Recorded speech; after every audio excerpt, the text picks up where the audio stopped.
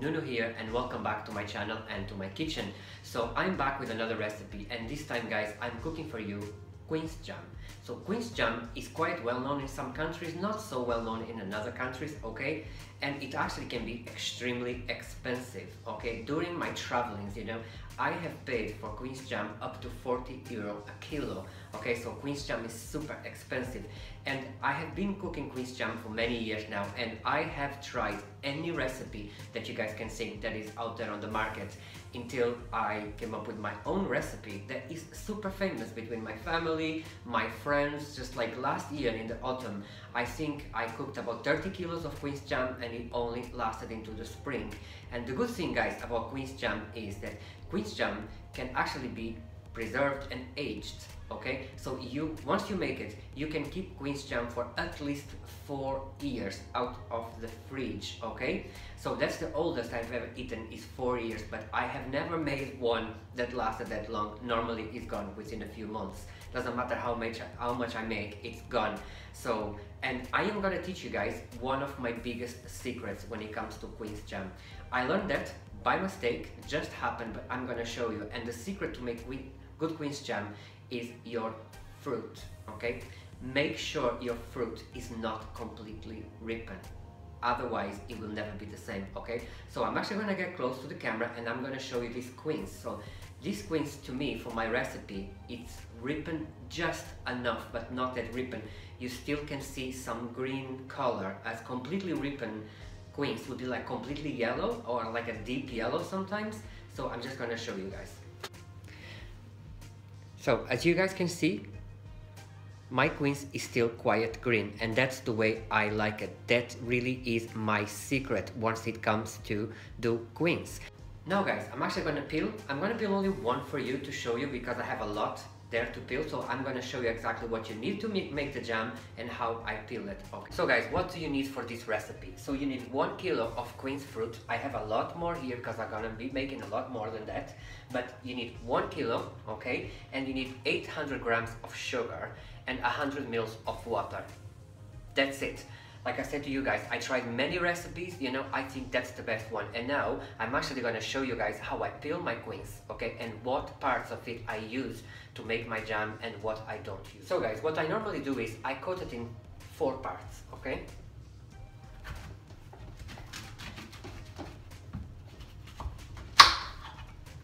Because quince fruit is actually quite hard, okay?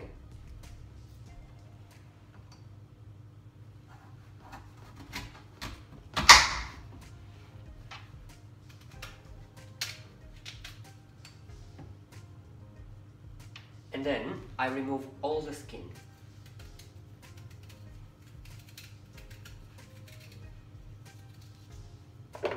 A lot of people actually use the skin to make the quince, but I don't like. I think it gives it like a bitter taste and I really don't like that.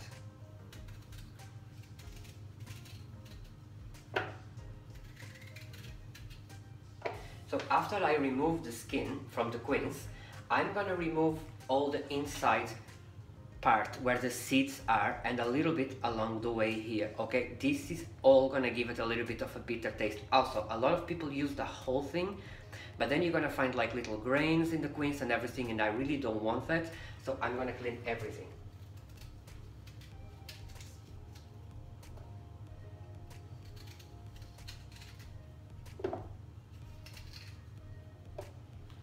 So that's it. So that's exactly how it should look, okay? Just really the meat part, nothing else.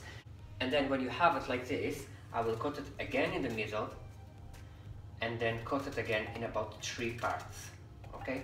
So you're literally gonna cut it into small little squares like this. And now I'm gonna do that to the whole of this fruit and I will be back to show you the next step. So guys, finally I finished peeling all my quince and as you can see, it has actually oxidated a good bit, okay? So do not be afraid of that, it will not change the flavor, okay? It's quite normal that quince oxidates, okay? Especially because, as I told you before, my secret is to use the quince when it's not fully ripened so it oxidates much quicker. So all you're gonna need now, it's a pot, okay? And you need your quince, your sugar and your water. So one kilo of quince you're gonna be using 800 grams of sugar and about 100 mils of water. So then, very easy. You just pour all your quince in, okay?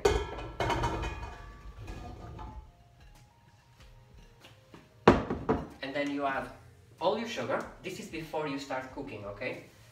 You add your sugar. And then you add your water. So then guys, when you put the three things in, you just give it a little mix, okay? So the sugar absorbs the water. So just give it a little mix, okay? Then put your top on and then you guys gonna turn on your cooker into medium heat, okay? And now we're just gonna wait until the water starts to dissolve the sugar. And once it does, it will cook for about an hour, maybe, okay? And you have to come and stir now and then. So guys, the quince has now been cooked for about, been cooking for about 10 minutes now. And as you can see, the sugar melted completely already. And now you just leave it on medium fire and just let it cook okay so I will come back into the video now guys and show you how it all processes and everything and I will just also show you when it's ready okay when it's ready to be blended because it needs to be blended but needs time needs to cook slowly okay? Do not try and rush quince because you will burn it and also never add more water okay? Once you added your water that's it. Never add more water because otherwise you if you put cold water in it, it will burn it, okay? So guys, my quince has now been cooking here for about 20 minutes and as you can see, the fruit are beginning to go a little bit soft and turning into a gold color, okay? So, like I said to you guys before, keep it on medium heat. Do not be tempted to rush, because if you rush this because of the amount of sugar that's in it, you're just gonna burn the sauce okay? Because it's like caramel and that's it. And then your quince is destroyed. So just keep it cooking very very slowly okay? And make sure you come back every five minutes maybe and just give it a, a stir. So the fruit that are, are on the top they go to the bottom and the bottom ones come to the top. So they cook equally okay So my quince has been cooking for about a half an hour now. As you guys can see, the color, this gold color is getting deeper and deeper, but it's still not finished by no means. We want it to go kind of red, okay? And it will go, it just needs time.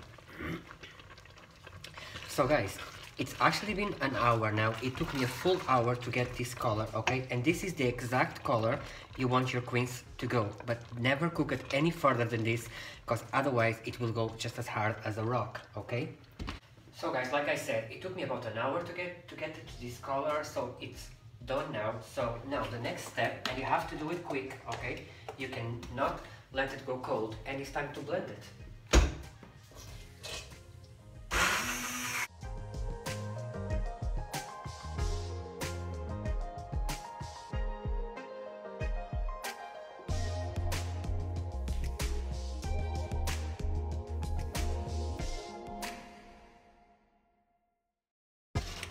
Okay guys, you see the consistency of this? This is just absolutely perfect. It's exactly how you want your quince to look like. Now that you have all your quince blended and everything, you need to be quick because if you let it cool down, it will get hard. So, and you should be putting it into bowls like this. Just if you want to preserve it for a few years, make sure you disinfect your bowls with whiskey, okay? That's the best way. And then you're just gonna put it into the bowls, okay? Now, so there we go, this is my first bowl and just use your spoon to push it down, okay?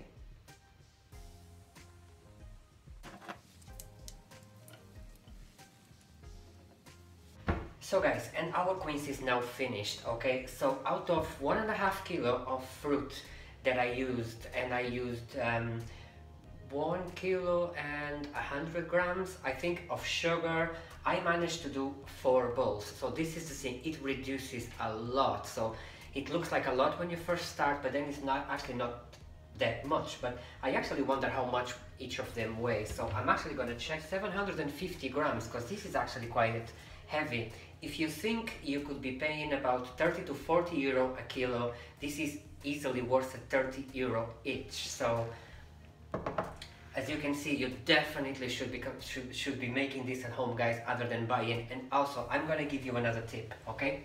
If you ever trying to buy quince, okay?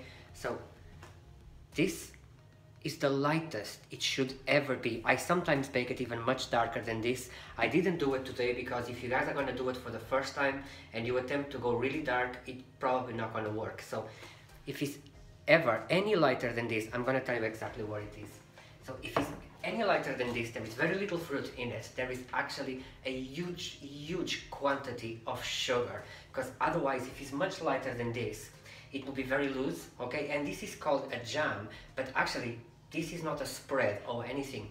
You're supposed to be able to slice it. And then how do you eat this? You eat this in a sandwich. If you try to eat like a sandwich with some cheese and, and a slice of this, it's amazing. And also, I'm from Portugal and we, we eat a lot of this as a dessert. So as a dessert, how do you eat it? It's a dessert called Romeo and Juliet. So literally is a thick slice of a good quality cheese and then an equal slice of this quince jam and you put it on top of the cheese and then you just eat it with your fork and knife and it's amazing and it's called Romeo and Juliet okay so also one more thing if you want to preserve your quince for a few years to come you can very easily do it. So all you have to do to be able to preserve it is make sure you disinfected your bowl with whiskey okay? And then you're gonna get some baking paper and I'm not gonna dip mine because this is not going to be preserved. This will be all gone in a few days. But you can use baking paper and then you dip your baking paper into whiskey and then just go like this. Then you put it on top like this that's it. And this is how you preserve your quince and to preserve it don't need to go into the fridge. And for as long as you have it in the house does not go into the fridge either. And you can preserve it I know up to four years because I have eaten four year uh, old quince. You, as soon as it cools down, you, could, you guys could actually eat it, but I would advise you to wait at least a week before you eat it, more if you can. Like if it's preserved already three to four weeks, tastes better. If it's preserved two months, tastes even better. Actually, in the next few days, I'm actually gonna make a huge quantity of this and I'm gonna put it all like into Christmas bowls because I give it away to people at Christmas, okay? So, guys, this is it. I hope you enjoyed this recipe and definitely, guys, get baking and make it because absolutely delicious, especially now Christmas is coming, okay? Hope you guys enjoy it and I'll see you next time. Bye-bye.